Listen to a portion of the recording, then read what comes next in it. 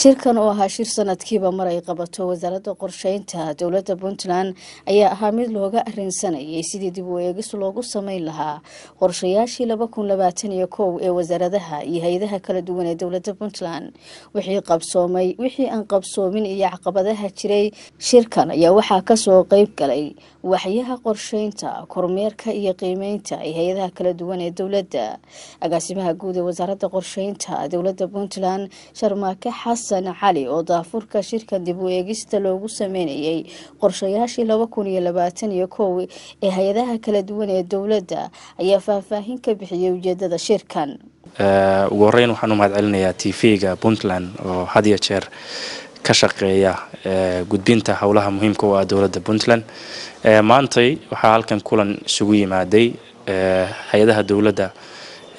khaasatan siddeed iyo tobanka wasaaradood iyo ilaa in ka badan afar hay'adood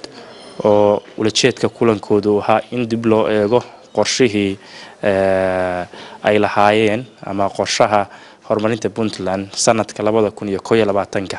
Waxyaabihii qabsoomay waxyaabihii aanan qabsoomin casharadii laga baran karay fulintii iyo waqtigii lagu guda jiray fulinta qorshayaashaas in maaragtay iyagana wax layska yidhaahdo iyo caqabadihii jiray. Dib isu eegiddaas waxay faa'iido weyn u tahay had jeer xafiisyada dowladda in caqabadaha sannadkii la soo dhaafay ama sanadkan dhammaanaya in aysan dib dambe inoogu soo noqon caqabadahaasi iyo in casharo laga barto oo waxyaabihii jiray waxa weeye oo quruxda badnaa ama hadday jirin waxyaabo si qurux badan loo qabtay in intaba maaragtay casharo laga barto. Runtii kulankan waxaa ka soo bixi doona markii uu gabagaboobo in report uu ka soo baxo lagu fiiriyey ama wax ka sheegaya qorshuhu siduu ahaa annual government progress report la yirahda baa ka soo bixi doona. Waxaa focuska lagu saaraya social sectorka oo runtii muhiim weyn u leh puntland in adeegyo loo qabto dadka maadaama waxyaabaha asaasiyaadka bulsha u baahan tahay ay tahay arrimaha bulshada in wax laga qabto. Qeybaha kale oo sectorska kale waa muhiim. Laakiin focuska ugu weyn waxaa la saari doonaa insha allah qeybta socialka baa la saari doonaa waxaa kaloo shirkan markuu soo gabagaboobo isagana ka soo bixi doona in hay'ad walba ay soo gudbiso qorshaheeda sanadka si loogu jaangooyo mashaariicda iyo ay qabanayso dowladdu iyo hay'adaha la jaalka dowladdu. Waxyaabihi hay'adan si loogu jaangooyo qorshayaashaas. Dabcanna waxa weeye ay sii jirto hadhow in fulitaankiisa uu noqdo wax guul laga gaaro meel fiican ka gaarno sanadaha dambe hadduu alla idmo. Cawil bashiir oo ka socday hay'adda unisef ayaa dhankiisa soo dhaweeyey shirkan waxaana uu sheegay ka hay'ad ahaan in ay markasta qeyb weyn ka qaadanayaan wada shaqeynta shaqooyinka ay u haysa wasaaradda bulshada reer puntland. Dii sanadlaha ah sannadkii laba kun iyo koo iyo labaatanka inay ku soo bandhigaan qorshahooda soo socdana iyo labadana ay ay wadaagaan wasaarad kasta iyo hay'adihii la shaqeynaya ay soo bandhigaan. Shirkaas waxa uu ahaa shir mo farsamo ahaan ay isugu yimaadeen dhammaan wasaaradaha raggi dadka u qaabilsanaa qeybta monitoring evaluationka iyo qorsheynta iyo kuwooda la socodka barnaamijyada ama qiimeynta ku shaqeeya shirkaasitoo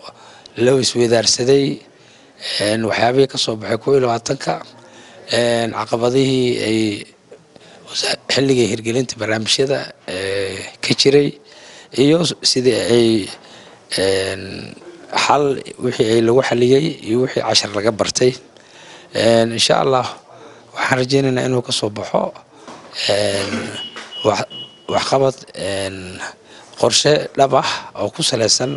baahida dadka ka faa'iideysanaya barnaamijka iyo shacabka reer puntland. Waxay unisef haddi jeer ay garab u tahay oo iskaashi ay garab istaagan tahay bulshada ku nool reer puntland gaar ahaana iyadoo toos ula shaqeysa haddi jeer nidaamka dawliga ah iyo wasaaradaha iyo institutionska ka jiro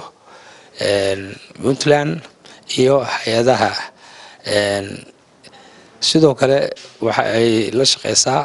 hay'adaha aan dowliga ahayn oo haddi jeer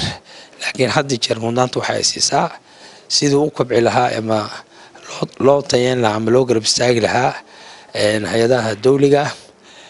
iyadoo kaashanayso lamaanayaasheeda kala gedisan haddi jeerna wakiil uga ah deeqbixiyaasha ku aaminay in hantida maalgashi amase wixii dhaqaalo loo helo reer puntland la soo gaarsiiyo. Nadar warbaahinta dowladda garowe